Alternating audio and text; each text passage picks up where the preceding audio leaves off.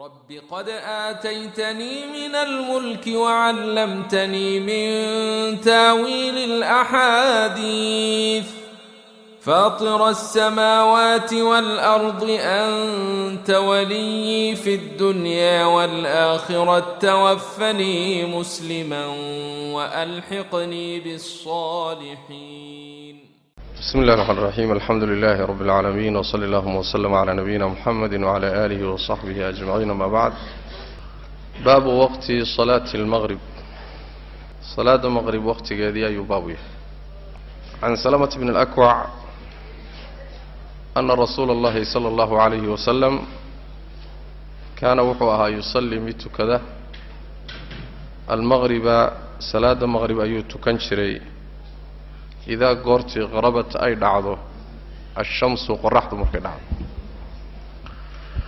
oo watawaarad ay qarsoonto bilxijaabi asturkeedana ay ku qarsoonto yacni shayga qariya markay dhacdo halkaa ay ku qarsoonto rawaa waxaa wariyey aljamaacatu baa warisay ila anasaa'iya nasaa-i mooye xadiidka wuxuu faa'iideynayaa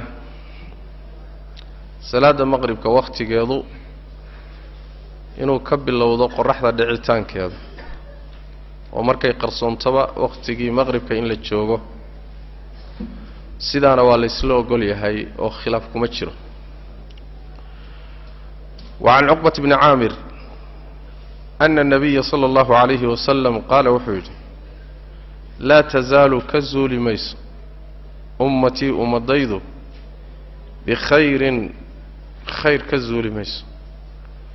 Aw cala alfitrati ka zuuli mayso.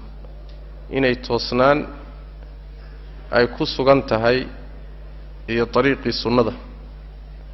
Aw cala alfitrati inay ku sugan tahay toosnaan iyo islaamnimo saxa ka zuuli mayso. Maa lam yu-akhiruu intaysan dib dhigin almaqriba maqribka xataa tashtabika ilaa isdhex gasho annujuumu xidiguhu ay isdhex galaan rawa waxaa wariyey axmed wa abu daawuud waxaa saxiixiyey xaakim. Dahabi baa ku waafaqay sheekh albani. Waxaan dhihi imaamu nawowi wuu taxsiiniyey sheekh albanina wuu saxiixiyey. Wuxuuna tilmaamayaa salaada maqrib dibdhiggeedu oo dib loo dhigo ilaa ay xidiguhu isdhex galaan oo ay kulligood wada muuqdaan macnaha inay arrintaasi tahay arrin khilaafsan sunnada fitrada iyo dariiqa saxdaana khilaafsan. Bal inay astaan u tahay ama calaamad u tahay inay ummaddu khayriyadii iyo fitradii saxda ahayd weyday waa markay dib u dhigto. Inta ay arrintaa ayna samaynayninna oo ay wakhtiga hore ka tukanaya maqribka ka tukanayaanna inay khayrna ku sugan yihiin fitradiina ku suganta. Ayuu xadiidku tilmaamaya. Waxaana laga faa'iidaysanayaa salaada maqribka in horay loo tukado oon la dibdhigin macnaha wa can marwan marwan ibni اlxakam qaala wuxuu yihi qaala lii wuxuu igu yidhi zayd bnu haabitin zayd bnu haabit baa wuxuu igu yidhi maa laka maxaa kuu sugnaaday marwaanow oo taqra'u aada u akhridaa? Fi lmaqribi salaada maqrib dhexdeeda maxaad ugu akhridaa biqisaari almufasal subaca mufasal la yidhaahdo suuradihiisa gaagaaban mufasalka waa subaca ugu hooseeya qur'aanka ee soomaalidu khamiista ay tidhaahdo waa meeshuu ka bilaabanayo khilaaf baa ku jira ma xujuraad buu ka bilaabanayaa ma qaaf buu ka bilaabanayaa ma kor ka kor buu ka soo bilaabanayaa laakiin waa subaca ugu hooseeya qur'aanka. Kaasaa waxaa la yidhaahdaa mufasal marka maxaad niyow suuradaha gaagaabanee ee subaca ugu hooseeya khamiisaad. Suuradihiisa ugu gaagaabanon maxaad maqribka ugu akhridaa suuradaha ugu gaagaaban marka waa suuradaha qur'aanka ugu gaagaaban way macnaha ayib maa laka maxaa kuu sugnaaday oo taqra' u akhridaa fi lmaqribi biqisaari lmufasali subaca mufasal mufasal waxaa loogu bixiyay bay leeyihiin waxaa aada ugu badan muxuu ahaayey kala googoynta suuraduhu ay kala googo-ayaan ilaan waa meesha ay suuradaha qur'aankuba ugu badan yihiin soo ma? Marka bismi baa imaanaysa haddana wax yar suuraddii waa gaabantay haddana bismi baa imaanaysa. Waxaa ku badan kala googoyntaas saasaas loogu bixiyey mufasal maa maxaa kuu sugnaadoo taqra' u akhriyaysaa fi lmaqribi biqisaari lmufasali maxaad u akhridaa. Waqad samictu anoo maqlay rasuula allahi sal alay wasalam yaqra'u isagoo akhriyaya fiihaa dhexdeeda maqribka dhexdiisa bituula tuulayayn. Labada suuradoodee ugu dheer tooda ugu sii dheer.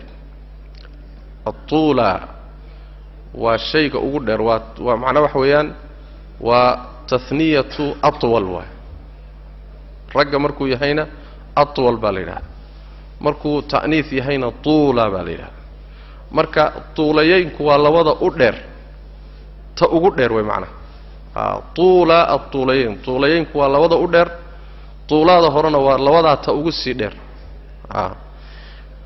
Anigoo maqlay rasuulkoo yaqra' akhrinaya fiihaa maqribka dhexdeeda bituula tuulayayn labada ugu dheer midda ugu sii dheer. Rawa waxaa wariyey albukhaariy baa wariyey wa axmed waannasaa'i wazaada wuxuu ziyaadiyey nasaa'i. Can curwata xaaluu ka warinayo tuula tuulayayn alacraaf curwat bnu zubayr ayuu ka warinayaa wuxuu leeyahay hadalkaasi zayd ibnu haabit ee ah tuula tuulayayn buu fasiraya. Marka tuula tuulayayn labada dheer dheer midda ugu dheeri waa acraaf buu yidhi. Ayib walinasaa'iyi waxaa u sugnaaday ra'aytu waxaan arkay buu uhi rasuula allahi sal alla alay wasalam oo yaqra'u akhrinaya fiihaa maqribka dhexdiisa ku akhrinaya bituula tuulayayn aliflaam miim saad. Saas way macnaha waa tafsiir wey macnaha tuula tuulayaynkii baa aliflaam miim saad waa acraaf ayib tuula tuulayaynkaasi tafsiirkeedu ma aha labada suuradood ee qur'aanka oo dhan ugu dheer ta ugu dheer sidaa hadday noqon lahayd suuratulbaqara ay noqon lahayd soo ma ee curfigan adtuulayayn curfi saxaabadu ay taqaanuu ah labada dheer ta ugu dheer marka midda soo raacda acraaf inay tahay miduu nebigu akhriyey ee maqribka ku akhriyey taasi way iska caddahay. Laakiin midda soo raacday ka dheer tahay waa tee. Qole waxay leeyihiin waa ancaam waana sida loo badanyay qolole waxay leeyihiin waa maa'ida labadaas waay. Amaa nisaa iyo suuratulbaqara iyo lagama hadlayo. Marka la soo dhaafo oo ancaam iyo maa'ide iyo la yimaado acraaf acraaf baa ugu dheer inta kale sidaase marka tuula tuulayayn waa curfi saa'id ahaa oo saxaabadu ay u yaqaaneen tuula tuulayayn ama tuulayaynka labadaas suuradood bay u yaqaaneen. Curfi agtaada agtooda ka jiray buu ahaa. Wa ilaa sidaa haddii loo itlaaqo baqaray ku dhici lahayd. Ayib waqad sabaqa waxaa soo hormaray buu yidhi axaadiistaa marka sheekhu wuxuu u deliishanayaa salaadda maqribku xadiidka u horreeya wuxuu u deliishanayaa in ay soo gasho markay qoraxdu dhacdo kan labaadna wuxuu u deliishanayaa dibdhigiddeeda in dib loo dhigaayo in ay laga fiican yahay oyna sax ahayn. Kanna wuxuu u deliishanayaa salaadda maqribka inuusan wakhtigeedu cidhiidhi ahayn wakhti dheer inay haysato oo wakhtigeedu uu laba wakhti ay leedahay. Waana masale muxuu ahay fuqahadu ku kala aragti beddelan yihiinoo ay qaarna qabaan salaadda maqribku hal wakhti bay leedahay oo qoraxdu hadday dhacdoo la tukadaba wakhti kaloo soo hadhay ma jiro qaarna waxay leeyihiin maya salaadda maqribku sida salaadahoo kale salaadaha kale oo kale wakhti dheer bay leedahay. Ilaa guduudku ka dhacayo waa la tukan karaa waana la dheerayn karaa. Xadiiskani marka wuxuu ku tusayaa in wakhtigeedu uu ka badan yahay. Wakhti gaabanoo yacani muxuu ahaay saddex ragcadood la tukado iyo sunnadooda iyo aadaan iyo aqimaad keliya kuma ekee wakhti dheer bay leedahay. Maxaa yeelay suuratulbaqara akhrinteeda iyo ku tukashadeedu wax yar maaha soo ma?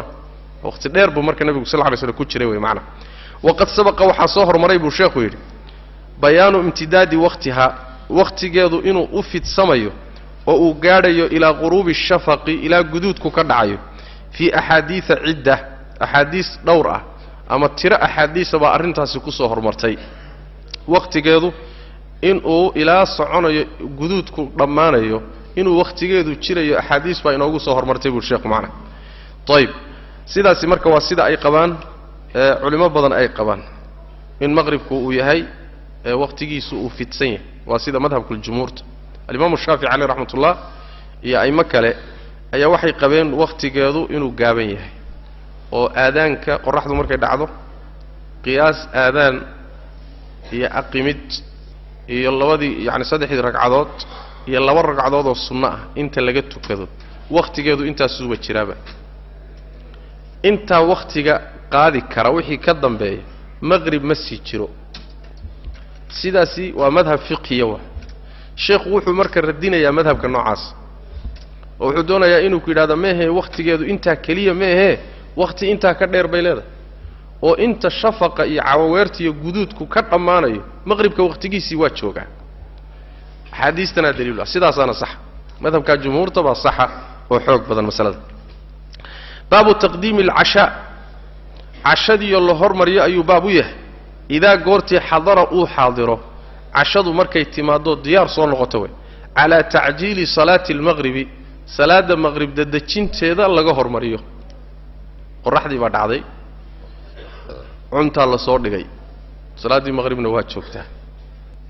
Salaadda maqribkuna wakhtigeeda waa kii hadda laga soo hadlaya ma cashadaa la cuni mise salaaddii baa la hormarin xadiiskii hadda waxaynu soo maraynay inaan salaadda maqribka loo dibdhigin ilaa yacni xidiguhu ay isgelayaan soo maha oo arrintaasi inay tahay khilaafu lfitra soo ma marka xaaladdaa iyada ah ma mar walbaa miseba marka qaarkood hadday arrimi timaaddo waa la dibdhigi karaa.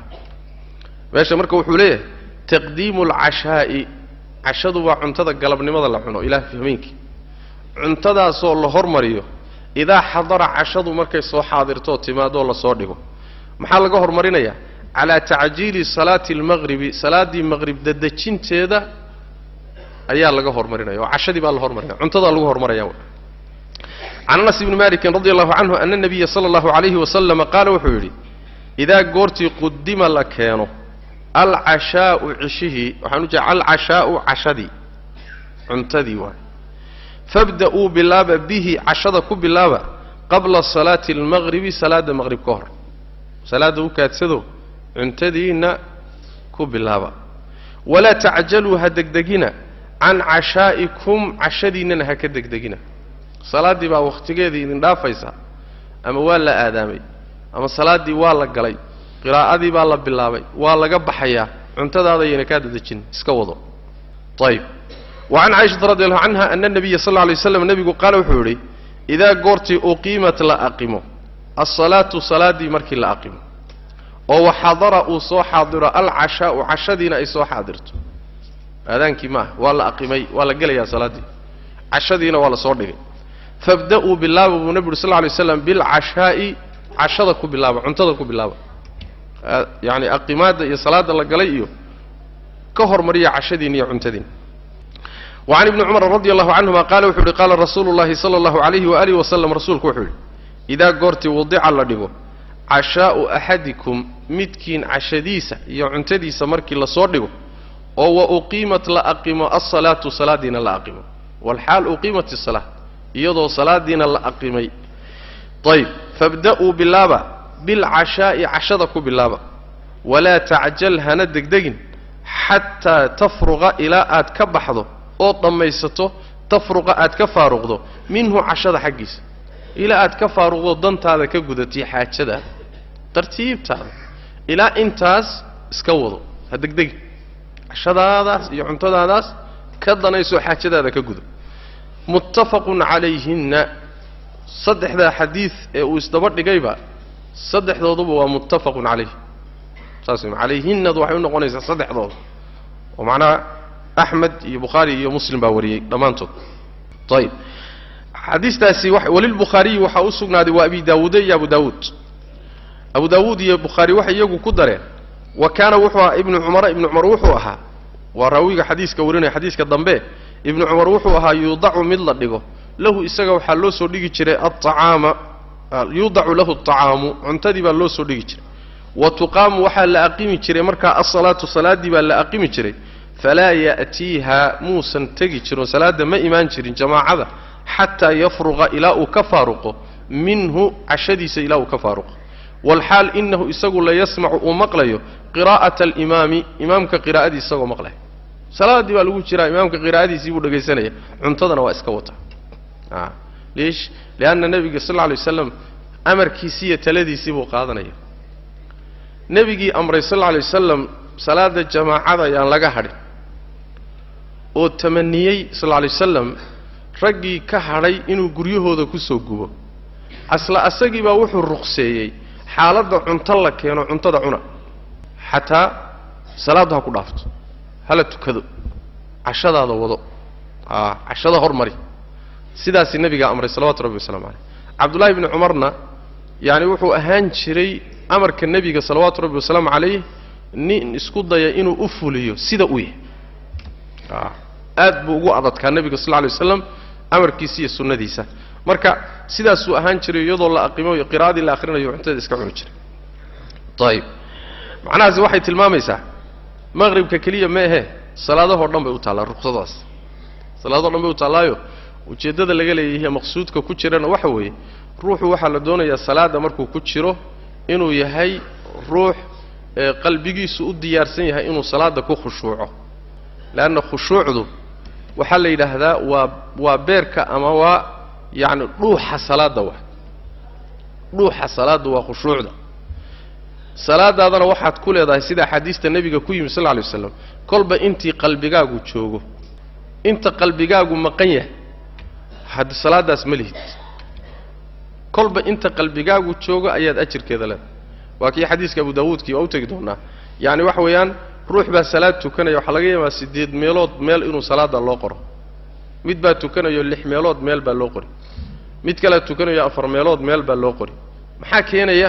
Waxaa keenaya kolba inta qalbigaagu joogo. Shareecadu marka waxay ka taxadaraysaa ruuxa inta qalbigiisu wax uu ku mashquuli karo uu jiro. Waxaasi cudurdaar ruqsa laga dhigay. Maalan waxa weeyaan cashadii baa timid. Hada ruux cashadii u baahan oo cuntadii u baahan haddii uu salaada galo jidhkiisii qoloftii unbaa meesha taagan mooye qalbigii waa maqan yahay. Soo ma qalbigii cuntaduu cunahayaa laakiin qoloftii baa meesha taagan. Sidaas daraaddeed waxaa dhaanta jamaacadu ha dhaafto laakiin salaad khushuuc leh ha tukado. Soo ma waxaa ka mid ah waa u tegi doonaayo markuu ruuxu yacni cinda mudaafacati alakhbathayn labada xunxun markaad riixriixayso ood celcelinayso. Yacani waxa way kaadi badan markay ku hayso ama saxra ku hayso ood celcelinayso ood ku rafaadsanta ayadana iska soo danayso.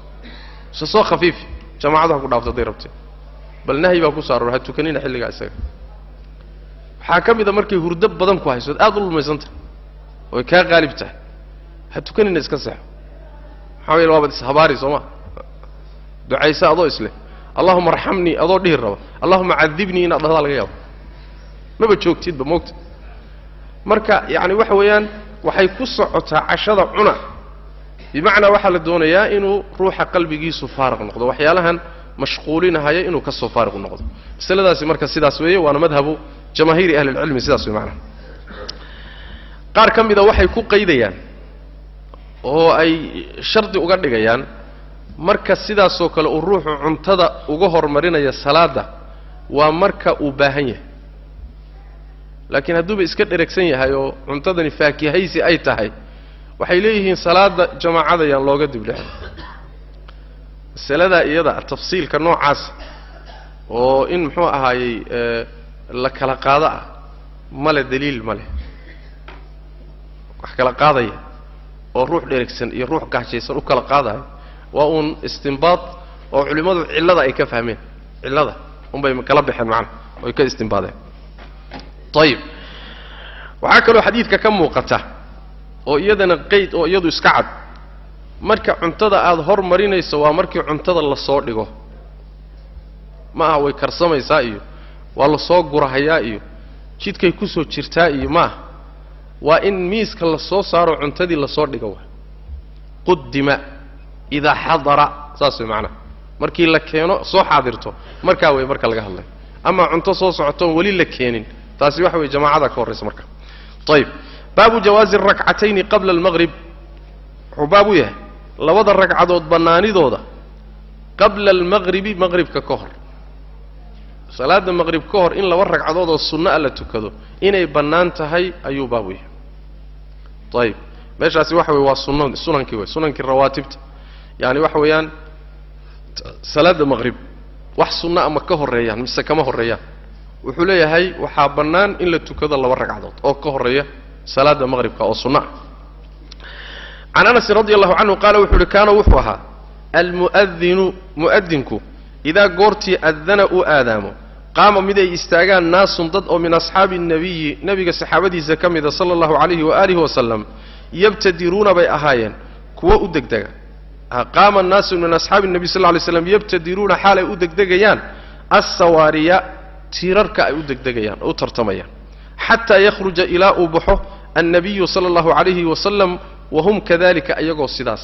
Ilaa uu nebigu ku soo baxo masaajidka u yimaado ayagoo sidaas oo tiirarka u kala degdegay oo tiirarka macnaha ku tukanaya yabtadiruuna asawaariya sawaaridan waxaa laga wadaa yani waxay ka dhigan jireen sutro.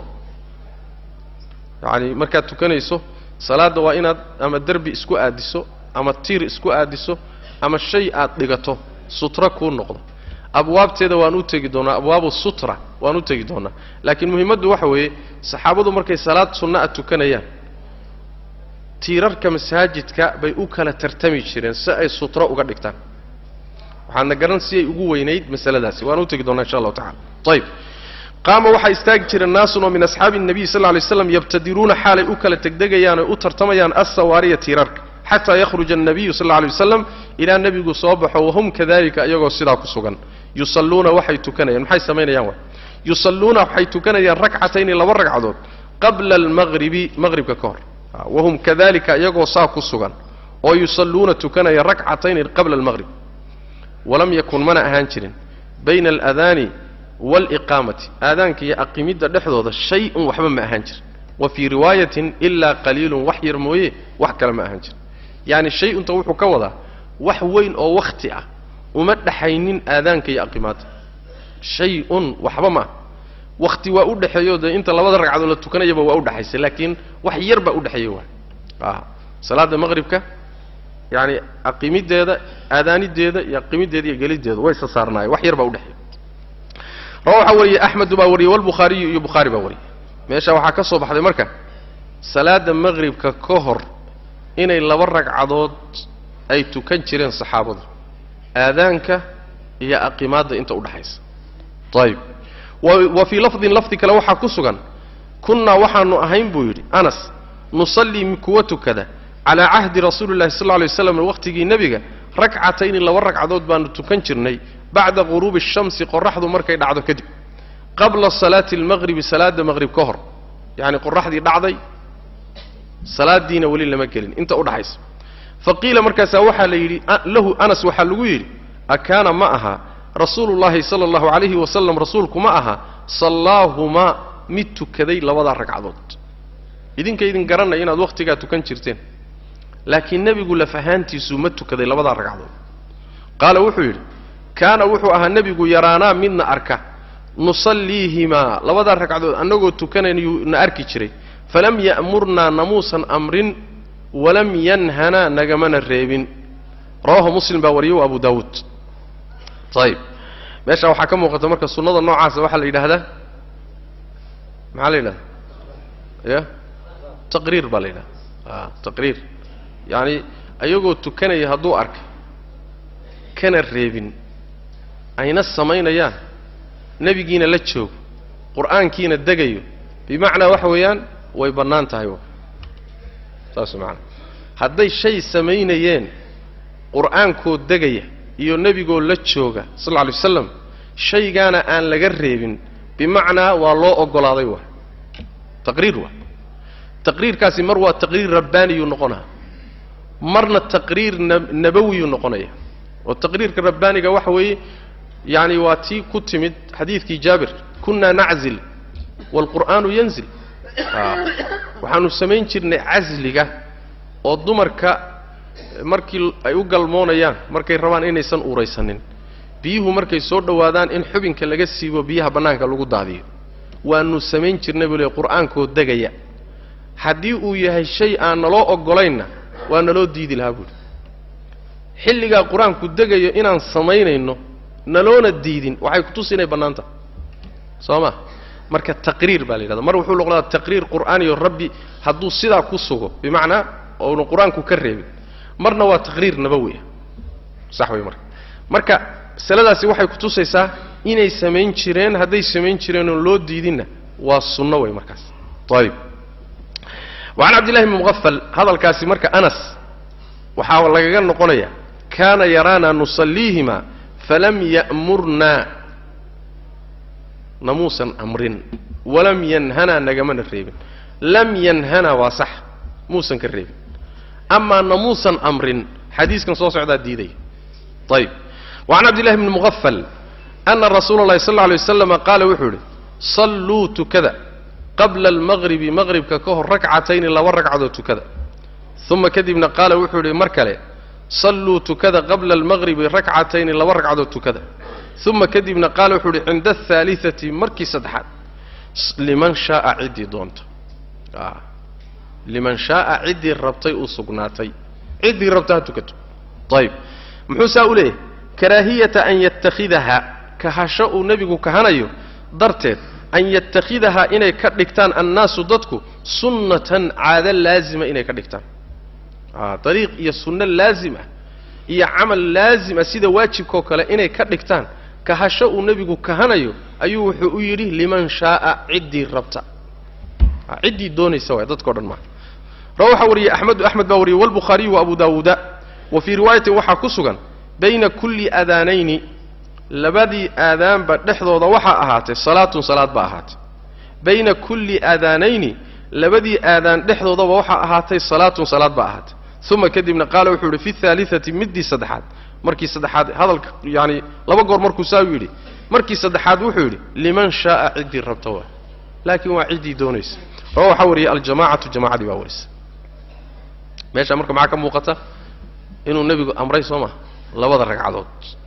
Ayib see laysu waafajinaya marka hadalkii hore ee anas falam ya'murnaa waxaa laysu waafajinaya laba siyoodba waa laysu waafajin karaa in la yidhaahdo. Anas miduu ka hadlayo iyo tan xadiidka dambe sheegaya way kala duwanta oo anas amarkuu ka hadlayo waa amarka waajibka ee laasimka ah. Amar waajib oo laasim ah namuusan amrin. Xadiiska dambe markaa ma diidayo soo ma? Leanna amarkan xadiiska dambe ku soo arooray liman shaaa la socoto amru ma aha muxuu ahaay ilzaam ma ah wujuub iyo ilzaam ma aha kuwa anas ka hadlayeyna waa amar ilzaam iyo wujuub keenaya soo ma? Marka iskama hor imaanayo saa haddii la yidhahdo haddiise la yidhaahdo falam ya'murnaada hore ee anas. Amar oo dhan buu ka hadlayaa. Waxaan marka leenahay wuxuu ka hadlay intuu isagu ogaa. Soo ma? Intuu isagu garanayo meeluu nebigu ku amray muusan joogin cilmi ka maqnaa weeyo marka waxaa siyaadiyey cabdullaahi bnu muqafal baa joogay nebigoo amray. Saxaabo badan oo anas ka waaweyn oo ka cilmi badanna way ka qarsoontay axaadiis nebiga ka sugan sal alla alay slam marka anas waxaa ka qarsoontay amarka nebigu uu amray baa ka qarsoomay waa markaan idhaahno amarka waxaa laga wadaa amaroo dhan. Sidaasi marka waxay noqonaysaa anas intuu ogaa buu sheegay cilmi uusan ogaynna waxaa siyaadiyey oo kordhiyey cabdullahi bni muqafal waman xafida xujatun cala man lam yaxfid. Ziyaadatu cilmi waa. Ayib axaadiistaasi marka waxay kordhinaysaa labadaa ragcadood ee maqribka ka horraysaay in ay bannaan yihiin oo sunno yihiin. Ayib karaahiyata an yatakhidaha annaasu sunna. Liman shaa'adaasi waxay faa'iidaynaysaa amarku asalkiisu soo wujuub inuu faa'iideeyo maahayn haddii aan la daba dhigi lahayn ixtimaalkaasi waa imaan lahaa. Laakiin markuu nebigu daba dhigay liman shaa'a oo dadka mashii'adooda arrinta lagu xidhay ninkii raba. Meeshaa maxaa ka soo baxa inuusan amarku wujuub ahayne qariinadaasaa sarfisay oo ka dhigtay in istixbaab iyo sunani iyo jawaas loola jeedo. Sidii rabta way markaa macana sidaas weeyaan. In badanoo culimmada ka mid a ayaa qabta labada ragcadood inay sunno yihiin. Bal iskaba dhaafe xadiidka lafdigiisa dambe wuxuu faa'iidaynayaa aadaan kasta iyo aqimaaddiisa dhexdooda salaad baa udhaxaysa bayna kulli aadaanayni labada aadaan waxaa laga wadaa aadaanka iyo aqimaadda. Leanna aqimaaddu aadaan waa la dhahaa. Saas way macanaha marka aqin kasta iyo aadaan ka horreeya dhexdooda salaad sunna a baa ku jirta. Sunnadaasi si gooniyo in loo magacaabo waa dhici karta. Sunna mu'akada ay noqoto rawaatibta ay noqoto. Waa inoo imaan doontaa abwaabtooda. Sunno uun aan mu'akad ahayn. Laakiin sunankaas ku jirta aan rawaatibta ayna way noqon kartaayo aadaan kasta iyo aqimaadiisa salaad baa geli karta. Waa la tukan karaya marka macnaha taasayna soo gelaysaa cumuumkaas. Lafdiga hore xadiiskuna waaba caddeeyey wa can abi lkhayr qaala wuxuu yidhi ataytu waxaan u imid cuqbata bna caamirin baan u imid faqultu waxaan ku idhi buu idhi alaa ucajibuka miyaana ku cajab gelinayn? Min abi tamiim abi tamiim xaggiisa miyaanan cajab kaa gelinayn miyaana wax la yaab le kaaga sheegaynin waay ninka la yidhaha abu tamiim. Cajiib oo la yaab le oo maxay tahay? Yarkacu wuxuu tukadaa. Ragcatayni laba ragcadood buu tukadaa qabla salaati almaqribi salaadda maqrib ka hor. Tanaaba la yaab ku noqotay.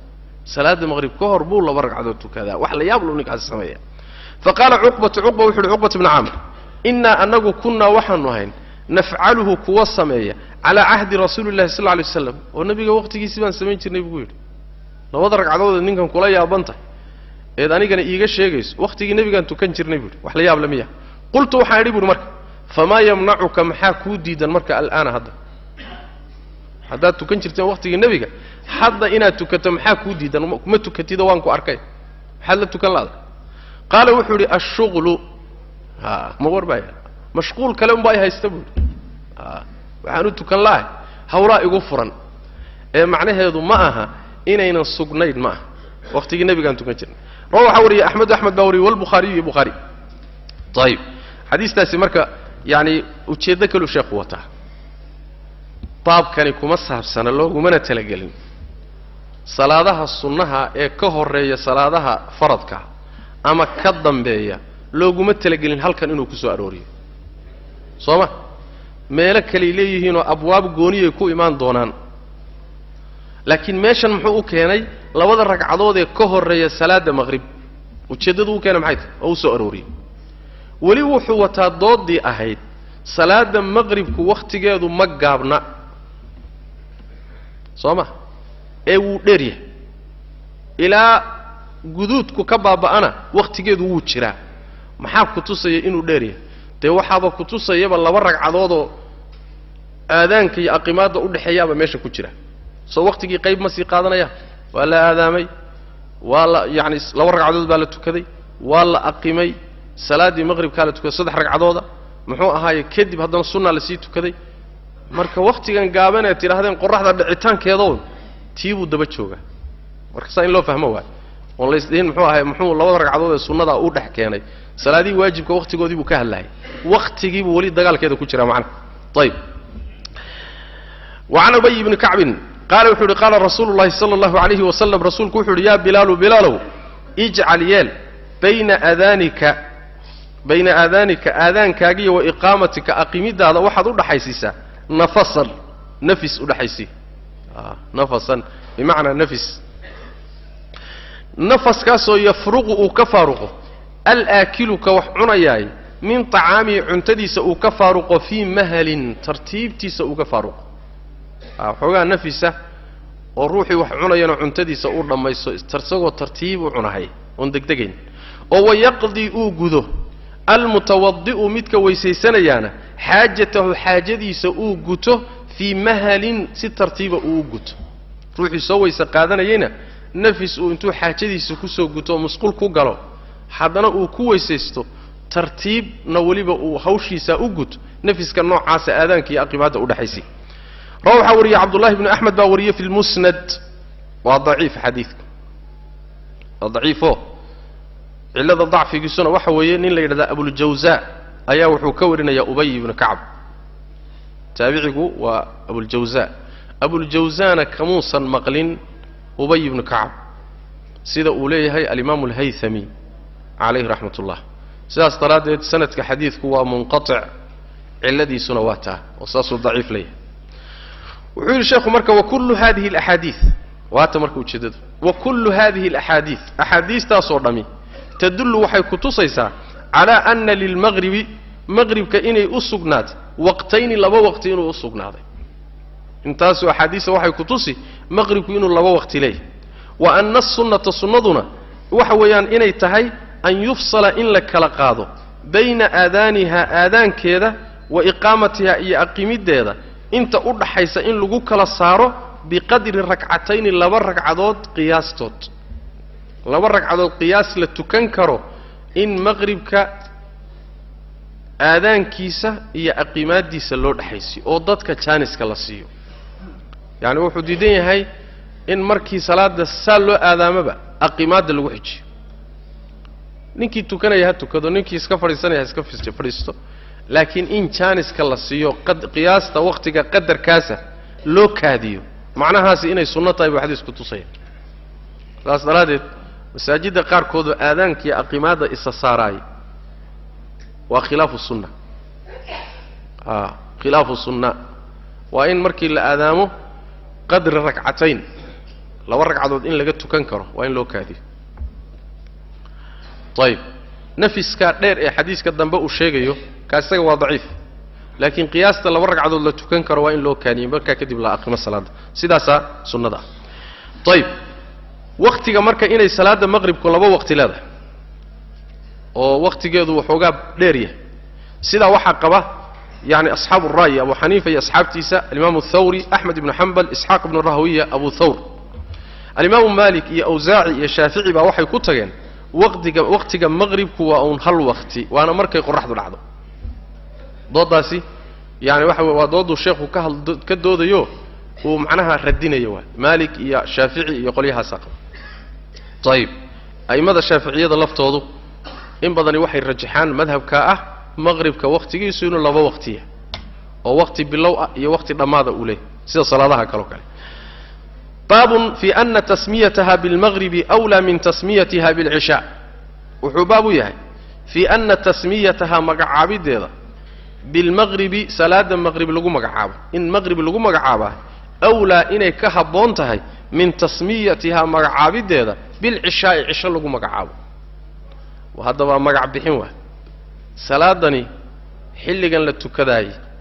Ma maqrib in lagu magacaabo magacaa la siiyaa fiican loogu yeedho mise cisho in loogu yeedhaa habboon. Wuxuu leeyahay waxaa habboon in la yidhaahdo maqhrib cishaa in la yidhaahdo waa laga fiican yahay buu dhihi raba fii ana tasmiyataha bilmaqribi lagu magacaabaayo awlaa inuu ka habboon yahay min tasmiyatiha bilcishaai lagu magacaabo. Can cabdillahi bni muqafal ana anabiya sala allahu aleyh wasalam qaala wuxuu idhi laa yaglibannakum yaysan idinka xoog badanin oo ayna idinka raynin oo idinka qaalib noqonin alacraabu reebaadiyaha xoolodhaqatadu cala smi salaatikum salaadiinna magaceeda yeena idinka adkaanin oo idinka qaalib noqonin almaqribi a maqribka wa cala smi salaatikum almaqribi qaala wuxuu yidhi waalacraabu reebaadiyaha iyo xoolodhaqataduna taquulu waxay tidhaahdaa hiya iyadu waa maqribkiiya alcishaau waay muttafaqun calayh ayib xadiidka yani waxa weeyaan muslim baa soo saaray min xadiidi ibni cumar. Cabdullahi bnu qafal markuu yahay waa xadiid muttafaq. Ayib waxaan dhihi lahaa muxuu ahaaye xadiidka muusan soo saarin imaamu muslim isagoo ah min xadiidi cabdillaahi bni muqafal waxaa soo saaray bukhaari iyo axmed. Ayib laakiin muslim wuu wariyey xadiidka laakiin isagoo ah min xadiidi cabdillaahi ibni cumar saas way macanaa yacni marka la leeyahay hebel baa wariyey xadiidka iyo raawigu waa inay waa inuu waa inuu wada wariyo. Laakiin hadduu xadiidka lafdigiisa wariyo raawigase ay ku kala beddelan yihiin muslim baa wariyay lama dhihi karo. Sax kuma ah maalan hal xadiid ayaa waxaa warinaya abu hurayra iyo waxaa warinaya maalan xudayfa. Waana xadiis. Markuu xudayfe yahay bukhaari iyo muslim way isku waafaqeen. Markuu xadiidu yani maalan abu hurayre yahayna muslim keligii baa wariyey lama dhihi karo marka yani layskuma xambaari karo maadaama saxaabigu iskhilaafay laba xadiid bay kala sidaas daraaddeed muslim wuxuu wariyey isagoo ah xadiid ibnu cumar. Markuu yahay xadiidka cabdullahi bni muqafalna bukhaari baa wariyey saas wey marka. Ayib xadiisku wuxuu tilmaamayaa oo nebigu sal lla alay waslam uu leeyahay qolyahan acraabta acraabtu waa dadka xoolo dhaqatada ee baadiyaha degan yayna magaca salaadiinna maqribka ah yaysan idinka xoog badan. Waxay ku magacaabi jireen cishaha alcishaa yaani cishaha alcishaa aluulaa waalcishaa alaakhira cishaha dambe. Waxayna saa u dhihi jireen wakhtigaasay tukan jireen. Waxaan u jeedaa wakhtiga magaca cishaa marka la yidhahdo alcishaa wakhti dambuu tilmaamaya. Almaqrib marka la yidhahdana wuxuu tilmaamayaa wakhtigeedu inuu yahay ghuruubu shams soo ma qoraxda dhicitaankeeda inuu wakhtigeedu yahay baa kelimadu maqrib ay tilmaamaysaa. Kelimada cishaana macnaha ma faa'idaynayso sidaas daraaddeed magac ayaan laydinka adkaanine almaqribka ku mitida waa. Qoladan acraabta magacay wataanna yuusan idinka xoog badan saasuu nebigu salawatu rabbi waslamu alayh marka magaca habboon waa in la yidhaahdo maqrib la dhaho. Ayib baabu waqti salaati alcishaa. Salaadda cishaha wakhtigeedii ayuu baabu yahay. Wa fadli ta'khiirihaa dibdhigiddeeda fadligiisa maca muraacaati xaali ljamaaca iyadoo la ilaalinayo dadka jamaacadee salaada tukanaya u yimid xaalkooda la ilaalinayo.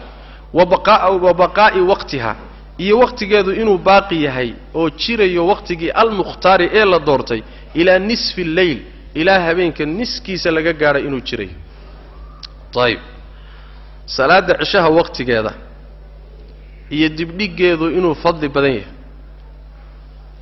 laba masalo waa salaadaha kale oo dhan.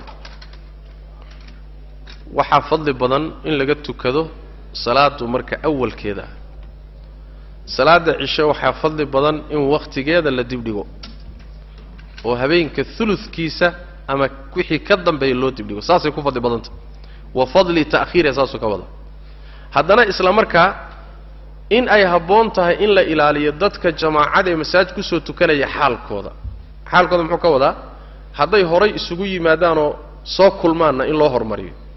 Hadday wax yar soo yara daahaanna oy dib dhacaanna in loo dibrido xaalka jamaacada in kolba la ilaaliyo la muraaceeyo qaybta afraadi waxa weeyaane tarjamada ka mid a wakhtiga salaada cishaha ee la doortay mukhtaarka ah inuu jirayo ilaa laga gaadho habeenka niski.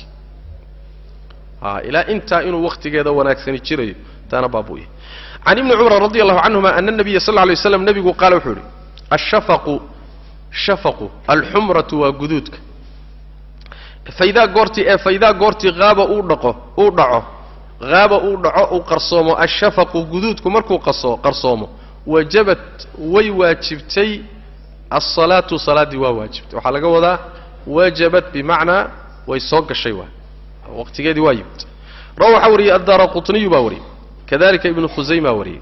Xadiidkuna waa daciif. Sidaa markuu marfuuc yahay oo nebiga loo tiiriyo waa daciif. Sawaabkuna waxa weeye xadiidku inuu yahay mawquuf cala bni cumar. Cabdullahi bni cumar buu ku adegi ku egyahay oo waa hadalkii cabdullahi bni cumar. Cabdullahi bni cumar baa wuxuu yidhi ashafaqu alxumra isagaa iskale hadalka ee hadalkii nebiga maaha sal lla alay slam in la rafciyana waa daciif sida imaamulbayhaqi iyo keyrkii ay leeyihiin laakiin xadiidka fii saxiixi muslim wuxuu ku yimid lafdi aynu soo marnoo dhahaya thawru shafaq thawru shafaq yacni gudayd guduudka kacsanaantiisa iyo faafsanaantiisu markay qarsoonto. Taasuu sax ku yahay. A fa idaa haaba thawru shafaq saasuu sax ku yahay. Ama lafdi kaleeto oo maa lam yaqib ishafaq intuusan maqribkaa laga hadlahay intuusan guduudku dhicin marka shafaqa dhicitaankiisa ama qarsoomidiisa inay salaadda maqribku ku eg tahay. Salaaddii cishuhuna ka bilaabanayso axaadiis cadcad baa ku sugan. Amaa kan hadda meesha ku yaalla ee lafdigani waa mawquuf in la rafciyana waa daciif. Ayib muxuu faa'iidaynayaa? Wuxuu faa'iidaynayaa guduudka joogiddiisa iyo tegiddiisa ayaa kala saarta maqribka wakhtigiisa dhammaadkiisa iyo cishaha wakhtigiisa bilowgiisa.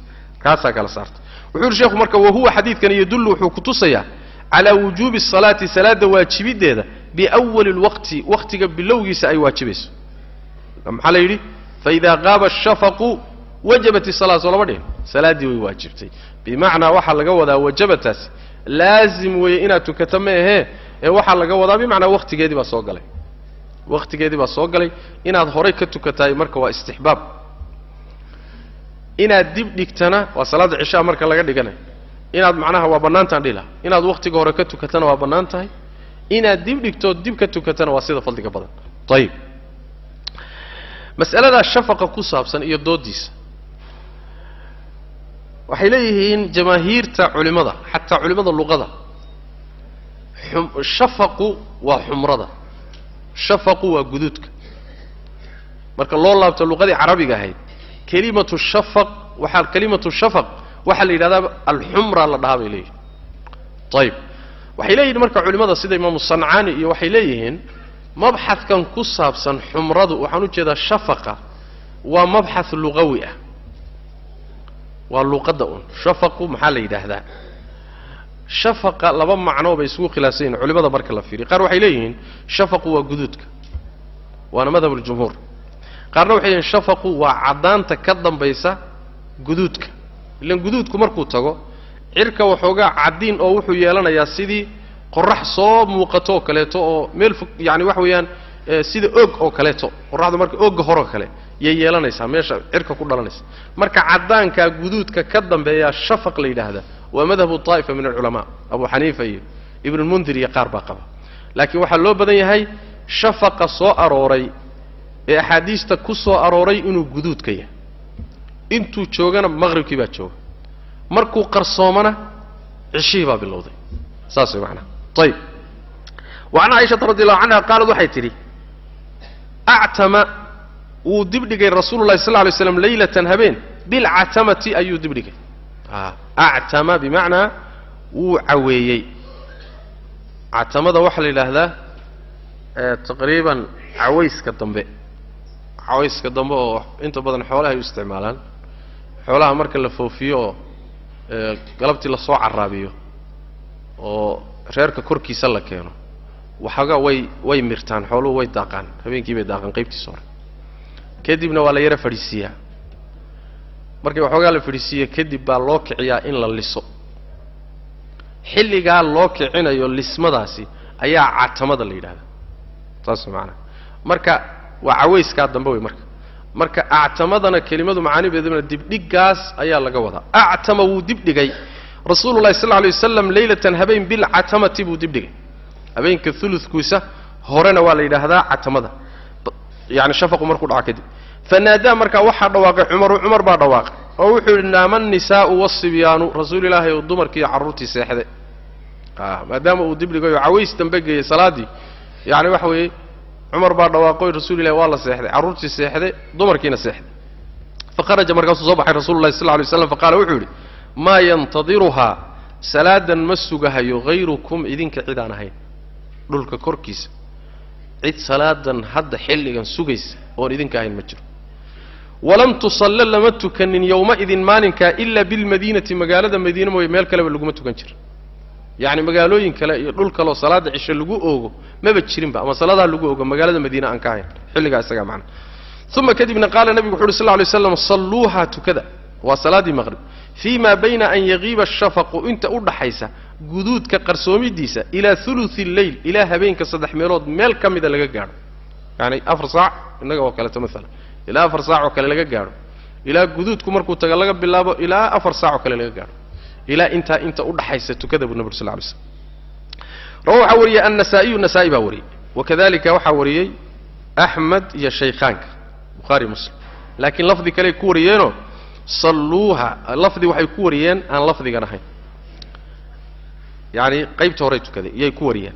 Amaa lafdigan uu nasaa-i wariyey ee dhahaya salluuha bayna an yagiiba ashafaq jumladaas dambe ee xadiidka nasaa-i baa la gooni noqday warinteeda weliba duruqdiisa qaar ka mida yuu lafdigaasi ku yimid. Duruqdiisao dhammaan maa duruqda nasaa-i qaar ka mida buu ku yimid. Waxaan ka baqayaa marka lafdigaasi inuu shaad yahay. Lafdigaa dhahaya salluuha fi bayna an yagiiba ashafaqu ila uluثi lleyl lafdigaasi xadiidka duruqdiisa kaloo dhan kuma jiro. Hal dariiq buu ku soo arooray sidaas daraaddeed inuu daciifiyo shaad yahay bay u badantah walow sheekh albani haba saxiixiyo macna. Xadiidkani marka waxaa loo keenay salaada cishuhu inay ku fiican tahay in dib loo dhigo caways dambe la tukado. Saas inay ku fadli badan tahay buu u keenay meesha. Wa can jaabir bni samura dibdhigaasi inuu fadli badan yahayna waa madhabka imaamu malik iyo shaafici iyo abu xaniifa. Waa madhabka jumhuurta way macnaha inay dibdhiga ku fadli badan tahay. Wa can jaabir bni samura qaala wuxuu yihi kaana wuxuu ahaa rasuulu llahi sal alay wasalam yu'ahiru mid dibdhiga ayuu ahaa alcishaaa salaada alcishaaa cishaha alaakhirati ee dambaysa. Cishaha dambe maxaa laga ixtiraazaya? Maqribka a leanna maqribka ayaa waxaa marmar lagu magacaabaa alcishaau اluulaa alcishaau alaakhira marka la leeyahy marka waxaa laga ilaalinayaa maqribka ayib rawa waxaa wariyey axmedu axmed wa muslim waannasaa'iy baa wariyey inuu dibdhigi jiray nebigu sal lay waslam ayay ku tusaysa. Wa can caishata radi allahu canha qaalad waxay tidhi kaanuu waxay ahaayeen yusalluuna kuwa tukada alcatamata salaada cawayska ama salaada cishaha fii ma bayna an yagiiba shafaq. Inta u dhaxaysa guduudka qarsoomidiisa ilaa ulu lleyli اlwal ilaa uluka hore laga gaadho. A inta udhaxaysa ayib uluka hore sabeenku saddex meelood marka loo qaybiyo. Midka hore baa ulu اlwal la yidhahda qaybta dhexana waxaa la yidhahdaa aulu alwsat uludka dhexa waay ka dambena waxaa la yidhahdaa alulus alakhiir marka uluska hore ilaa wakhtigay soo gasho oo marka guduudku qarsoomo ilaa uluska laga gaadha inta udhaxaysa ayay tukan jireen buu hi akhrajahu lbuhaariy baa wari. Ayay tii mana wacan abi hurayrata radi allahu canhu qaala wuxu uhi qaala rasulu llahi sal lay slam rasuulku wuxuu yidhi lowlaa an ashuqa inaan dhibo haddii lala yahay oonan ka baqaynin. Calaa ummatii ummaddayda korkeeda inaan dhibo haddaanan ka baqaynin la amartuhum waxaan amri lahaa oon ku laasimin lahaa. An yu'ahiruu inay dibdhigaan alcishaaa cishaha inay dibdhigaan ilaa uluثi اleyl ilaa habeenka saddex meelood meeshiisa hore ilaa laga gaadho. Aw nisfihi ama ilaa niskiisa laga gaadho inay dibdhigaan baan amri lahaa. A hataa habeenka niski in lagu simo halkaa laga tukado baan amri lahaa oon laazimin lahaa. Haddaanan ka baqaynin ummaddu inay dhibaatooto. Laakiin waxaanan u yeelin ummaddaa ku dhibaatoon way macnaha ayib rawa waxaa wariyey axmedu axmed wabnu maaja baa wariyey watirmidiyu wasaxaxahu tirmidi waa saxiixiyey. Waxaa kaloo saxiixiyey xaakim iyo sheekh albani shawaahid buuna leeyahay xadiidku. Xadiidka abu dawuud iyo nasaa-i ibnu maajah min xadiidi abi saciid biisnaadin saxiix oo xadiidka inoo soo socday baabka ugu dambeeya ah kaasaa u markhaati kacaya ayib wacan jaabir bni cabdillahi radi allahu canhu qaala wuxuu uhi kaana wuxuu ahaa annabiyu nebigu wuxuu aha sal alay waslam yusallii mid tukada adduhra duhurka wuxuu tukan jiray bilhaajirati hadhkii buu tukan jiray haajira yani hadhsimadii marka qoraxdu wax yar ay leexato. Waalcasra casarkana wuxuu tukan jiray walxaal ashamsu qoraxdu naqiyatun ay tahay mid nadiif ah. Qoraxdoo nadiifa oo kulaylkeedii iyo iftiinkeedii midna uusan isbedelin ayuu tukan jiray. Waalmaqribu maqribkana wuxuu tukan jiray idaa goortii wajabat ay qoraxdu dhacdo. Waalcishaaa cishahana axyaanan marmar yu'ahiruhaa wuu dibdhigi jiray. Wa axyaanan marmarna yucajilu wuu dadejin jiray oo horay buu ka tukan jiray idaa goor seebuu muxuu aha xaalku ah. Idaa goortii ra'aahum uu arko nebigu dadka uu arko. Ijtamacuu ayagoo soo ururay. Wakhti hore hadday intay guryaha ka yimaadaan ay soo ururaan oo masaajidku soo buuxiyaan cajala salaada wuu dadejin jiray. Oo horay buu ugu u tujin jiray.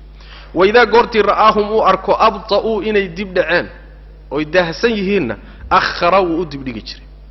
Kolba jamaacada iyo imaanshaheeda ayuu nebigu qiimayn jira oo ku salayn jiray salawatu rabbi wasalamu caleyh wasubxa salaada subaxna kaanuu waxay ahaayeen.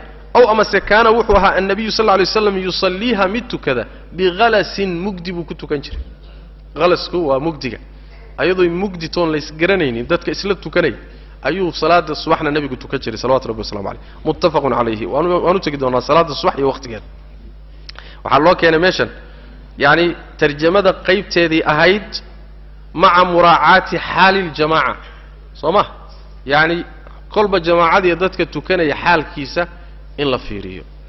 Oo yacni haddii ay daahidda dhibsanayaan wakhti horena yimaadaan in wakhti hore la tujiyo oon la dibdhigin macnaha ayib wacan caishata radi allahu canha qaalad waxay tidhi actama wuu dibdhigay annabiyu sal lla lay ama wuu awaysi wuu cawaysiiyey daata laylatin habeen xataa dahaba ilaa uu tegay caamatu lleyl habeenka badankii ilaa uu tegey xataa naama ilaa ayba seexdeen ahlulmasjidi masaajidka dadkii joogay ilaa ay seexdeen uma kadibna kharaja wuu soo baxay fa sallaa wuu tukaday wuu tujiyey dadka fa qaala markaasaa wuxuu yidhi innahu isagu la waqtuhaa waa wakhtigeedii wakhtigan baa keedii ah lowlaa an ashuqa haddii lala yahay inaan dhibayo calaa ummatii ummaddayda korkeeda ummaddayda korkeeda inaan dhibayo haddaanan uga baqaynin tanaa wakhtigeedii waaka habeenkii badankiina waaba tegay waaka wakhtigeedii habeen barh baa la jooga rawa waxaa wariyey muslim baa wariyey wannasaa'iyu iyo nasa'i baa wariyey wacan anasin radi allahu canhu qaala wuxuu uhi ahara wuu dibdhigay annabiyu sal alla lay waslam nebigu wuu dibdhigay alcishaa cishihii buu dibdhigay ilaa nisfi lleyl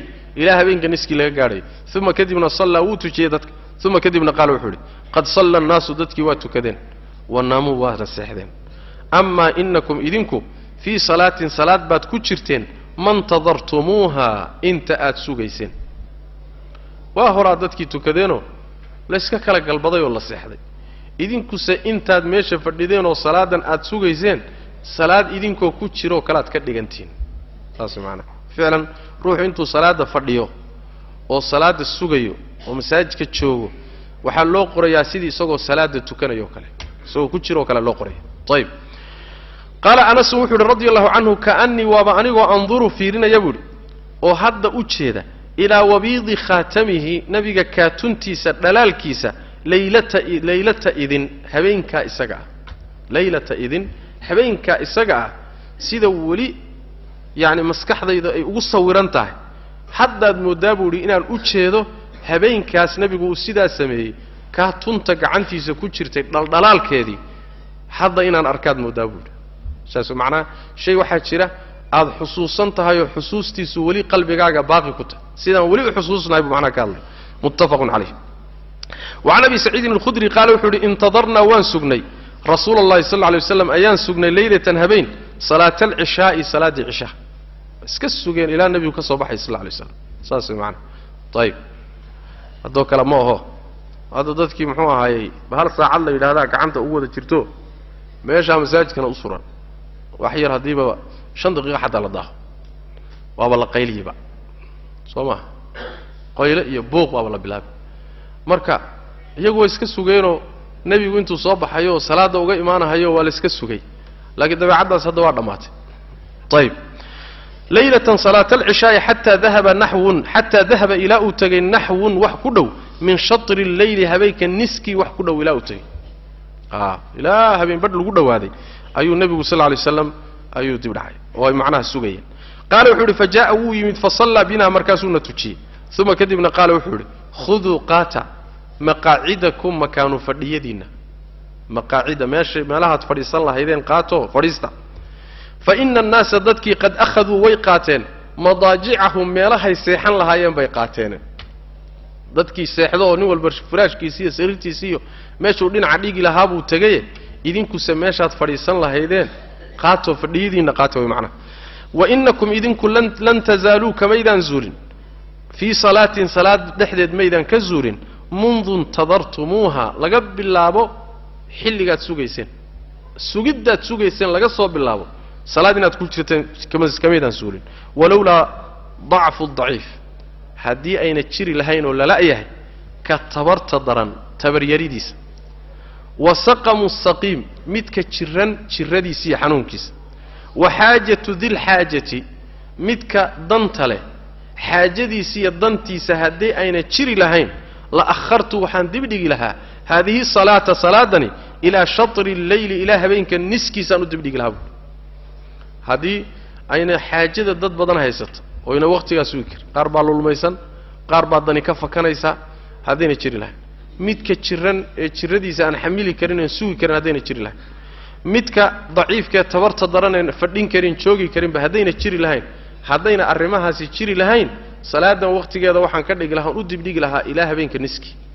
Bimacnaa wakhtigaasay ku fadli badan tahay laakiin hadday noqoto ummadda duruufaheeda hala ha la ilaaliyo markaa in la hormariyo wa a leanna waxa weeyaan sida yaani sunnada ah iqtadi biadcafihim dadku mar hadday wada tukanayaan qiraa'ada salaadda sida loo dheeraynayo iyo wakhtiga la tukanayo iyo kulli waxaa mudan in mudnaanta la siiyo dadka duruufahooda.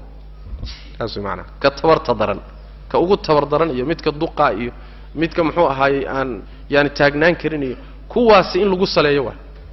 Wakhtiga marka munaasib ku ahna waa in la fiiriyo maadaama wakhtigii ay salaaddu ay isla wakhtigeedii tahay isla markaana qiraa'ada iyo salaadda sida loo dheeraynayo waa in iyaga lagu saleeyo. Saas way maanaa ayib qultu waxaan idhi bu sheekhu rawaca wariyadhe axmed wa abu daawuud kadalika waxaa soo saaray nasaa-i ibnu maajah waxaana saxiixiyey ibnu khusayma ibnu xajar iyo sheekh albani qultu waxaan idhi buuri sheekhu marka qad habata waxaa sugnaaday ta'khiiruhaa dibdhigidda salaadda cisho la dibdhigo ilaa shatri lleyli ilaa habeenka niskii loo dibdhigo way sugnaatay canhu nebigay ka sugnaatay calayhi salaatu wasalaam ficlan samayn uu sameeyey oo minhu xaggiisa wa qawlan iyo odhahna way uga sugantah ilaa habeenka niskii in loo dibdhigo inay fadli badan tahay nebiga hadal ahaanna way uga sugan tahay samayn uu sameeyey ficilna waa uga sugantay. Wa huwa xadiidka sidaa sheegayana muhbitun mid sugayo weeye ziyaadatan ziyaado wax ka siyaadsan calaa akhbaari huluthi lleyl axaadiistii huluhuleylka ku soo aroortay macno ka siyaadsan ayaa axaadiistaasi faa'iidaysay. Waalahdu qaadashada biziyaadati ziyaadada la qaato ayaana awlaa habbooni badan buuhi axaadiista nisfileyl ka dhigtay siyaaday waddaa ka siyaadsan huluhuleylka sidaas daraaddeed ayada in la qaataa habbooni badan bimacnaa waxa weeyaan haddii huluhuleyl loo loo dibdhigana khayr haddii laga sii dibdhigoo nisfileyl loo dibdhigana ka fadli badan waase goorma waa marka dadka wada tukanaya ay kari karaan haddayna la og yahay inay dadka qaarkood ku dhibaatoonayaan xilligay soo ururaana isu yimaadaana ugu horreeyaa la tujinaya taasi markaasi duruuftoodaa la qiimaynaya oo la qadarinaya baabu karaahiyati الnawmi qablaha wالsamari bacdaha ila fi maslaxa wuxuu baabu yahay karaahiyati الnawm hurdada kahashadeeda qablahaa salaada cisho ka hor la seexdo waasamari iyo cawayn ama soo jeed ama sheeko bacdahaa salaada cisho gadaasheeda la sheekaysto ilaa fii maslaxatin maslaxad darteed mooye ama maslaxad dhexdeed mooye laba arrimood oo laga fiican yahay ayuu meeshan ku sheegayo salaada cisho ka hor in la seexdo intaan salaada la tukanin waa arrin makruuh oo laga fiican yahay salaada cisho markii la tukada kadib in sheeko la galana waa laga fiican yahay ilaa inay maslaxa keento mooye hadday maslaxa keento markaasi sheekada bacda salaati alcishaa markaa karaahiyada waa ka baxaysaaba can abi barzata alaslami ana rasuula ana anabiya sala allahu calayhi wasalam nebigu kaana wuxuu ahaa yastaxibu mid jeclaysta an yu'ahira inuu dibdhigo alcishaaa cishaa allatii cishahaasoo tadcuunaha aada ugu yeedhaan alcatamata catama aad dhahdaan. Midda aada cawayska dhahdaan taas nebigu sal lla alay wasalam inuu dibdhigu jeclaan jiray. Yaani alcatama. Doonaa baabka kan ku xiga wuxuu dhihi doonaa tasmiyatuhaa bilcishaa'i waalcatama. Salaaddii cishaha cishana in la yidhahdo catamana la yidhahdo. Labadaa magac iyo kee habboon xagkuu kaga hadli doonaa. Wa kaana nebigu wuxuu aha sal alay slam yakrahu mid kahada annawma seexasho qablahaa salaada horteed la seexdo salaada cisho waalxadiida iyo sheeko. Bacdahaa salaada cisho kadib la sheekeeyo. Labadaaba nebigu waa kahan jiray sal alay slam rawahu ljamaca ayib waxaa loo kahanayaa haddaad seexatana waxaa dhici karta in wax badan ku dhaafo. Waa waqti khayr oo khayr badan waay. Sheekada gadaasheeda ka dambaysana haddaan maslaxa keenin. Waxaa fiican ruuxu markuu dikriga ilaahay uu la yimaado salaada tukado asagoo dikrigii ka qoyan yahay inuu ku seexdo. Waa midda labaadee salaada cishe marka la tukado horay laga seexdaayo ruuxa waxay ugu kaalmaysaa inuu habeenkii salaatuleyl u kaco. Xikmaddaasaa ku jirta. Haddaad ka daahdo waxay u badan tahay inaada kicin. Waxaa kaloo ugu kaalmaynaysaa salaaddii subax inaad iyadana si wanaagsan ugu kacdood nashaad ku tukato xikmadahaasoo dhan baa marka ku jira. Wa can ibni mascuudin radi allahu canhu qaala wuxuu yihi jadaba jadaba lana rasuulu llahi sala allahu calayhi wasalam nebigu wuu reebay wuu naga reebay. Assamara sheekada bacda alcishaai cishaha kadib yacni la jeedoo la sheekaysto. Assamara sheekaysi bacda alcishaa. Rawahu ibnu maaja baa wariyey wa qaala wuxuuna yidhi jadaba yacni wuxuu ka wadaa zajaranaa canhu wanahaana canhu. Jadaba. A waqaaladaasi waxaa iska leh niman nin ka mida ruwaadda xadiidka oo sanadka ku jiro khaalid la yidhaahdo. Ayaa iskale tafsiirka. Wa qaala khaalid wuxuu yidhi jadaba yacni wuxuu ka wadaa zajaranaa wuu naga reebay canhu xaggiisa wanahaana canhu. Waa isku macno. Zajara wanaha ayib waxaa kaloo xadiidka soo saaray ibnu xibbaan bayhaqi abu daawuudin atayaalisi axmed sanadkiisana waxaa ku jira nin la yidhaahdo cataa ibnu saa'ib oo saduuq mukhtalida ahaa. Raggii isku dardarmaday buu ahaa fii aakhirihi. Ninka ka warinaya xadiidka cataa ibnu saa'ib wuxuu u muuqdaa inuu ka ka mid yahay raggii ka maqlay markuu isku dardarmaday kadib ilaan saan horeyba u soo sharxnay rag culimo waxaa jira raggii xadiiska laga qaadan jiray ah oo xilli dambe markuu gaadho ama xanuun baa ku dhacaya ama da' baa ku imaanaysa waxoogaa marka uu isku darmanaya xilligaa uu isku darmaday waxaa ka qasmaya marka axaadiistii iyo wuxuu yaqaanay baa ka qasmaya xilligaa uu qasmay baa marka la xadaynaya waxaa la leeyahay taariikh hebla markuu baqdaad yimid dimashq yimid xilligaasuu isku dardaranka bilaabay. Waxaa la leeyahay marka ardadii wixii intaa ka horraysay wax ka qaatay waxay ka wariyaan waa sax. Xilligaa uu isku dardarmaday ardadii wax ka qaatayna waa la yaqaanaa. Xilligaa wixii wax ka qaatay kadibna waxaa la leeyahay xadiiskooda waa daciif. Leanna xilliguu wax isku qasay waay. Ardaygii wax ka qaatayna wax qasan buu ka qaatay. Soo ma? Marka waxaa la leeyahay axaadiistiisa gooniha loo saaro. Cataa ibnu saa'ib raggaasuu ka mid yahay marka ninka xadiiskan ka warinayaana wuxuu ka mid yahay raggii ka maqlay bacda alikhtilaat. Dacfiga xadiidkan ku jiraay waa kaas xadiidkuna waa daciif ma sugna. Laakiin sanad ahaan buu daciif u yahay. Xadiidku shawaahid buu leeyahay oo shawaahiddaasa u markhaati kacaysa ayib sheekh albanina caleyh raxmat ullah wuxuu ku keenay silsila saxiixa halkaasuu ku keenay.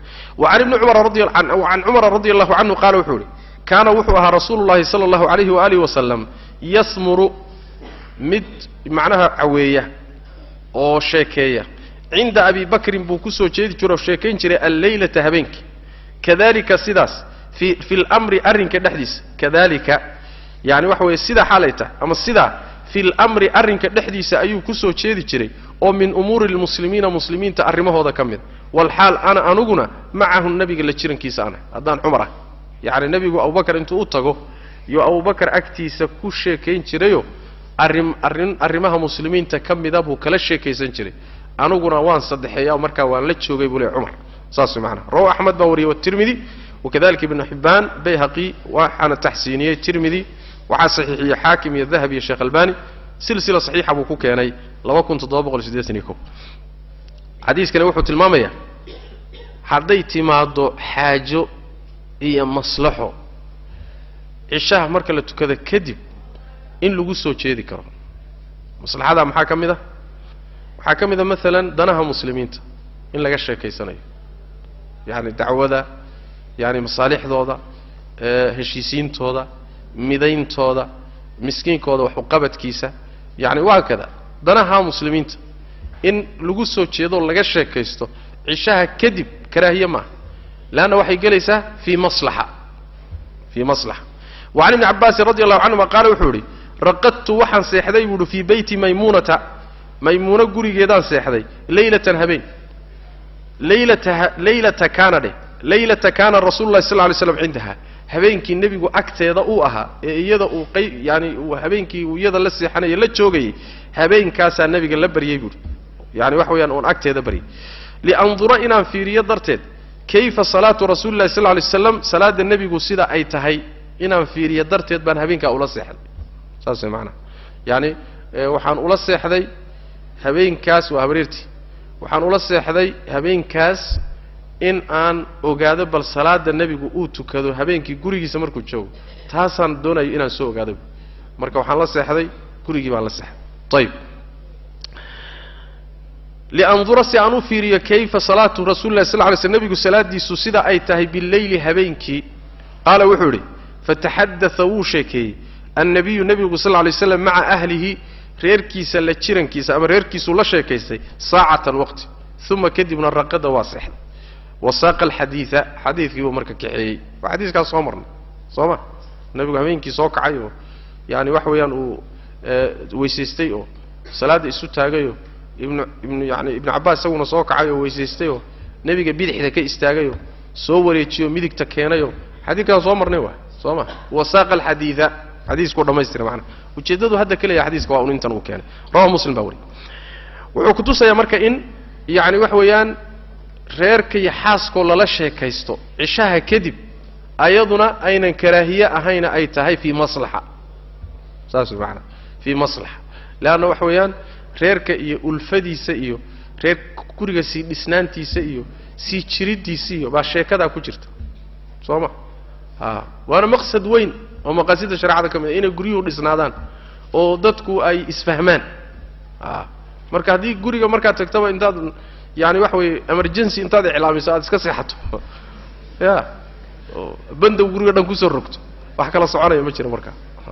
Marka maqsad weyn baa ku jira maqaasidda sharecada ka mid reerku hadduu isku duubnidiisa waa midda xataa loo loo fasaxay mar marka qaarkood haddii been laga maarmi waayo in been la sheego oo islaantii been loo sheego ama ninku islaantiisa been u sheego ama iyadu been u sheegto waa marmar laakiin. Yaan lagugu baranin haddii lagugu barto macnaha dhan bay waayeysaa markaas. Laakiin mar baadan ka maarmin. Alimaamu tirmidi wuxuu leeyahay ahlulcilmigu waa isku khilaafeen. Saxaabada nebiga iyo taabiciinta iyo culimadii ka dambaysayba cishaha kadib sheekada ah way isku khilaafeen. Qowm baa karaahaystay cishaha gadaashiisa. Qaarna way ruqseeyeen oo way banneeyeen hadday tahay wax xaaje ah sida cilmiga barashadiisa reerka iyo qoyska la sheekaysigiisa danaha muslimiinta xawaa'ijta noocaas oo kale ah way ruqseeyeen. Waana sida axaadiista nebiga ka muuqata sal lay slam axaadiistuna u badan tahay. Hada wabillahi tawfiiq. Wa sali allahuma w sllam cala nabiyina muxamedi wcala alihi w saxbi waslem